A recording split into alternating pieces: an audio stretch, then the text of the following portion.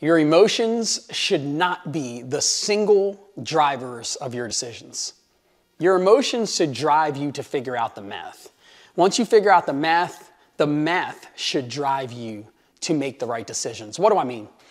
Look, a lot of times when we get really hyped up and really frustrated or really happy or really sad or really excited, really pumped, uh, we're just totally down on ourselves. That's the time where we move to action. And I'm telling you this right now, that's kind of the worst time, right? Because you're not rationally thinking. You're not saying to yourself, the result of what I'm about to do could be this. Instead, you're saying, I'm driven by this emotion and I just want to do it.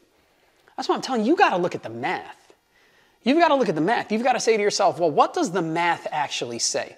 Allow the math to drive your decision.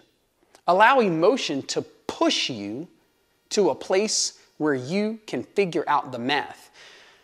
Here's what you don't do you don't fake this, you don't pretend right? You don't say to yourself, all right, I'm, I'm, I'm really, really emotional right now, whether it's excited or sad, whether it's happy or angry. You don't say, I'm really emotional right now, let's figure out the math. No, you say, I'm really emotional right now, let's jot it down on paper.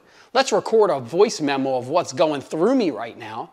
And then you let that emotion subside a bit or completely pass. And then you figure the math out.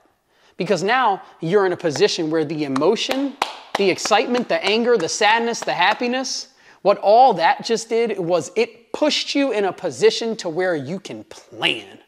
You can figure out, is this the right thing for me to do? Should I not even be messing with this thing? Is this more than I'm willing to put forth? Or is this exactly the thing I've been waiting for? I needed that emotional connection. Now I'm ready. I just built out the plan. Now I'm ready. I'm bringing the emotion back. I'm living in the math and I'm attacking the world. Whatever it is, emotion doesn't drive decisions. Emotion drives you to figure out the math. The math drives your decision.